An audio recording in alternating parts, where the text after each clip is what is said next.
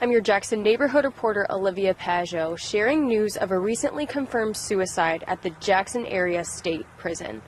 On December 22nd, prisoner Michael Muldermans was pronounced dead after intentionally jumping from one of the upper gallery floors at the Charles Egeler Reception and Guidance Center. A statement from MDOC states, quote, one of the first things that occurs when an individual enters prison is the completion of a comprehensive mental health screening, with a focus on the risk of potential suicide. Mental health services are provided at the intake facility to those with a diagnosed need, as well as anyone who seeks care from mental health staff. In addition, all MDOC staff are trained to identify signs of potential self harm within the prisoner population and to respond immediately. Muldermans was not on any type of special observation status for potential self harm slash suicide at the time of his death. End quote.